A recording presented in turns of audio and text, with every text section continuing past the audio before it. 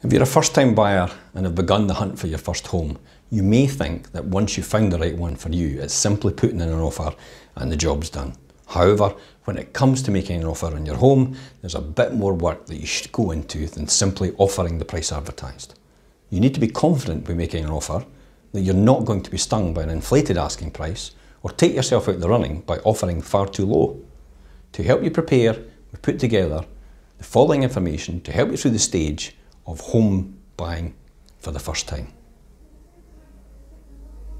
So get some advice. I think that's the key here in the beginning. Um, what do I mean by that? The first steps, and probably the most arguably uh, the most important step, is you need to speak to an expert.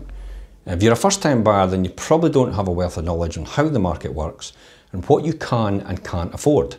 Get in touch with a mortgage advisor, get informed on how it all works, and more importantly, Find out what your price range is so when you do make a formal offer, you can do with some confidence.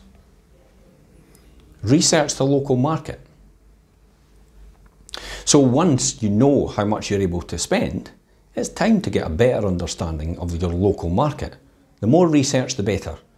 Take a look at what's up for sale and find out what your budget will get you in each area. Build a list of key features that your home will need such as the number of bedrooms or a driveway. The chances of you moving into your dream home and your dream property straight away are somewhat slim. However, it's more important that you know what you're looking for and how much it will cost in each area. It would be wise to point out you get in touch with your local estate agent. You can do as much research as possible, but a good local agent will always be a benefit as they will know the market like the back of their hand. This means that they can fill you in on what to expect from sellers and hopefully help you avoid any pitfalls. So get out there and book some viewings. Now that you've done your research on what you want, what you can afford, and what the market has to offer, it's time to book in some viewings and just get out there. Things can move very quickly in the property market. So your previous work and research and leading up to this point will come in handy as there'll be no time wasted travelling to unsuitable areas or overpriced properties. While viewing properties, be sure to check out the building structure and not just the decor. Get a copy of the home report and look over it, checking for any issues that could raise concerns. Then, when you visit the property, see for yourself if the issue in the home report is a real concern. Make sure you understand exactly what you're getting into and have a good idea of the current state of the home as it can help you in your offer. When you find the right home, be ready to act. If you've managed to find the right home, then it would be best to act quickly as there's a good chance you're not the only one eyeing up the house. If you're ready to make an offer, consider a few things before doing so. How much do other similar properties in the area go for?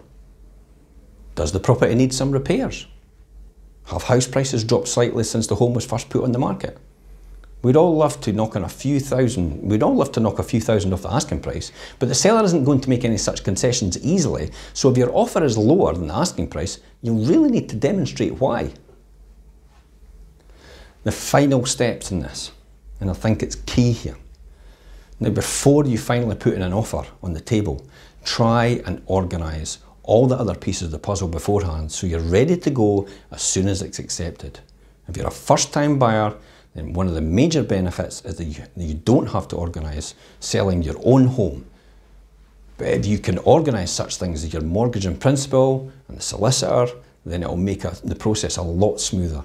Remember as well that the First Time Buyers Fund in Scotland gives you access to up to £25,000 from the Scottish Government extra towards purchasing your first home.